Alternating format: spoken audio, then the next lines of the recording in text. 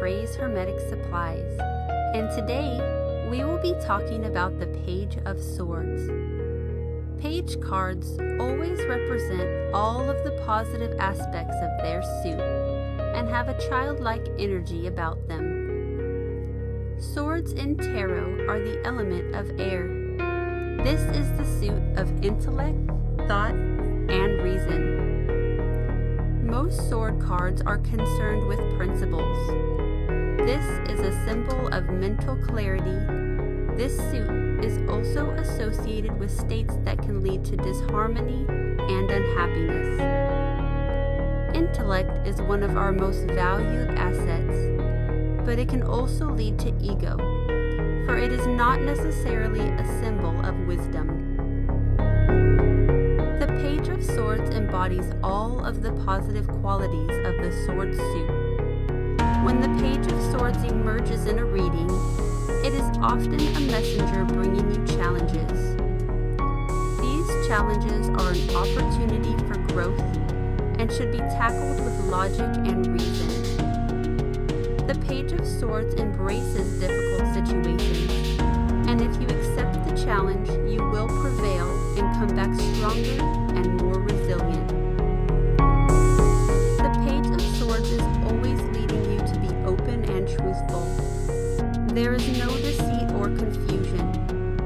Everything that is hidden is now exposed. The Page of Swords is also just. You are encouraged to use the positive tools of the sword suit honesty, reason, and fortitude. This is the opportunity to right a wrong, act ethically, treat others equally, and accept responsibility. The Page of Swords is also reminding us to have fortitude. We should not be discouraged when faced with any setbacks.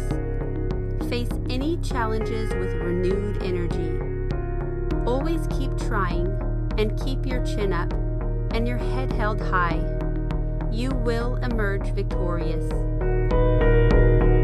The Page of Swords can also represent you or someone in your life whose interactions with you involve truthfulness, ethics, or matters of the mind.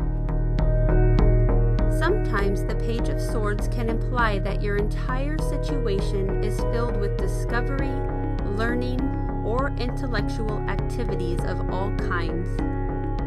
When this card emerges in a reading, remember to use your mind and enjoy creating any solutions using the mind.